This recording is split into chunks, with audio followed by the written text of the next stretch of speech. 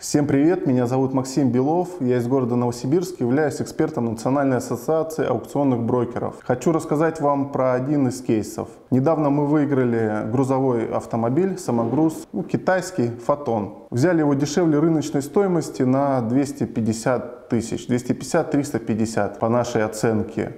А, отправили механика, он все проверил, а, сказал, что автомобиль в шикарном состоянии, небольшой пробег, хранился в теплом гараже, есть фото-видеофиксация, все как учили. Но мы решили, так как автомобиль китайский, заложить определенные риски. Благополучно его выиграли, поехали забирать. При перегоне просто блок двигателя лопнул, пришлось капиталить двигатель. Все это удовольствие встало нам в 250 тысяч, то есть автомобиль вышел в миллион. При это примерно его рыночная стоимость. У нас было три покупателя на него, которые за время ремонта уже себе подобрали другие варианты. Но то, что мы откапиталили двигатель и эти риски заложили туда изначально, позволило нам не потерять свои деньги. То есть сейчас у нас есть покупатель за миллион сто, то есть 100 тысяч мы в любом случае на нем заработаем и в минус не уходим. И цикл сделки примерно месяц.